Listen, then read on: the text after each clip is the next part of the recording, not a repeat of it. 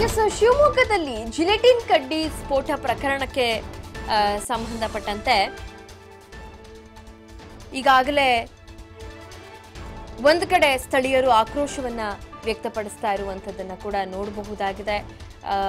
ಇಷ್ಟೆಲ್ಲ ಆದರೂ ಕೂಡ ಈಗಲಾದರೂ ಎಚ್ಚೆತ್ತುಕೊಳ್ಳುತ್ತಾ ಸರ್ಕಾರ ಅನ್ನುವಂಥದ್ದು. ಇನ್ನು ಮೃತರ ಕುಟುಂಬಕ್ಕೆ, ಘಟನೆಯಲ್ಲಿ ಮೃತಪಟ್ಟಂತವರ ಕುಟುಂಬಕ್ಕೆ ತಲಾ ಐದು ಲಕ್ಷ ರೂಪಾಯಿಗಳ ಪರಿಹಾರವನ್ನ ಕೂಡ ಘೋಷಣೆ ಮಾಡಿದ್ದಾರೆ. ದುರಂತದಲ್ಲಿ ಐವರು ಕಾರ್ಮಿಕರು ಮೃತರಾಗಿದ್ದಾರೆ. ಐವರು ಕಾರ್ಮಿಕರ ಕುಟುಂಬಕ್ಕೆ ತಲಾ ಐದು ಲಕ್ಷ ರೂಪಾಯಿಗಳ ಒಂದು ಪರಿಹಾರವನ್ನ ಘೋಷಣೆ ಮಾಡಿದ್ದಾರೆ.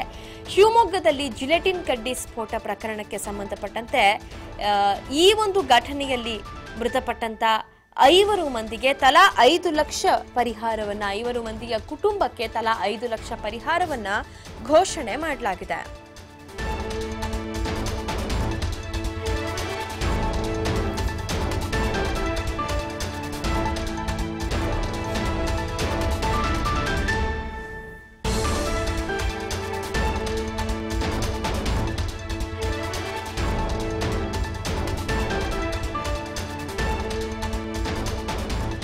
ಶಿವಮೊಗ್ಗದಲ್ಲಿ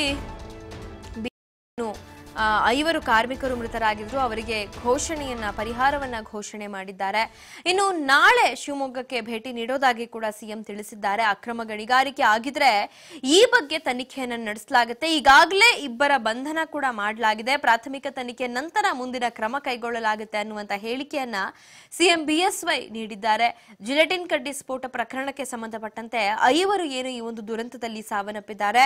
ಐವರ ಕುಟುಂಬಕ್ಕೆ ತಲಾ ಐದು ಲಕ್ಷ ಪರಿಹಾರವನ್ನ ನೀಡಲಾಗಿದೆ. ಸೊ ಈ ಬಗ್ಗೆ ಸಿಎಂ ಘೋಷಣೆಯನ್ನ ಮಾಡಿದ್ದಾರೆ. ದುರಂತದಲ್ಲಿ ಐವರು ಕಾರ್ಮಿಕರು ಮೃತರಾಗಿದ್ದಾರೆ.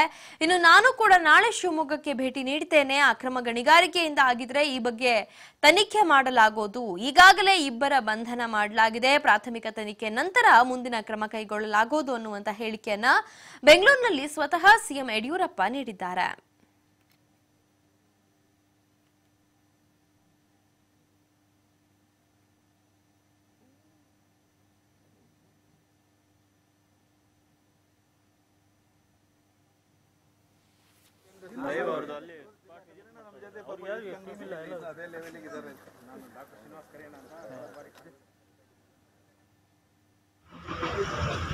ನಿನ್ನೆ ರಾತ್ರಿ ನಡೆದಂಥ ಘಟನೆಯಿಂದ ಐದು ಜನ ಮೃತರಾಗಿದ್ದಾರೆ. ನಮ್ಮ ಸಂಸತ್ ಸದಸ್ಯರಾದಂಥ ರಾಘವೇಂದ್ರ ಅವರು ಅಲ್ಲೇ ಬಿಟ್ಬಿಟ್ಟು ಎಲ್ಲವನ್ನ ವಿಚಾರಣೆ ಮಾಡ್ತಾ ಇದ್ದಾರೆ. ನಮ್ಮ ಇಲಾಖೆಯ ಮುಖ್ಯಮಂತ್ರಿ ಮುರುಗೇಶ್ ನಿರಾಣಿ ಅವರು ಸಹ ಇತರ ಕುಟುಂಬಕ್ಕೆ ಐದು ಲಕ್ಷ ರೂಪಾಯಿ ಪರಿಹಾರ ಕೊಡೋದಕ್ಕೆ ಜಿಲ್ಲಾಧಿಕಾರಿಗಳು ಈಗಲೇ ಸೂಚನೆಯನ್ನು ಕೊಡ್ತೇನೆ. ನಾಳೆ ನಾನು ಆ ಕಡೆ ಹೋದಾಗ ನಾನು ಸಹ ಸ್ಪಾಟ್ ಬರ್ತೇನೆ. ಘಟನೆಗಳು ಮರುಕಳಿಸ್ತಂತೆ. ಕಾನೂನುಬದ್ಧವಾಗಿ ಗಣಿಗಾರಿಕೆಗಳು ನಡೀತಾ ಇದೆ. ಇದನ್ನು ತಡೆಯೋದಕ್ಕೆ ಏನೇನು ಕ್ರಮ ತಗೊಂಡು ತಗೊಳ್ಳುವಂಥ ಪ್ರಯತ್ನ ಮಾಡ್ತೇವೆ. ಅಧಿಕಾರಿಗಳು ಸ್ಥಳದಲ್ಲೇ ಬೀಳ್ಬಿಟ್ಟು ಎಲ್ಲ ತನಿಖೆಯನ್ನು ಮಾಡ್ತೇವೆ. ಸೋಡಿ ಗ್ರಾಮದಲ್ಲಿ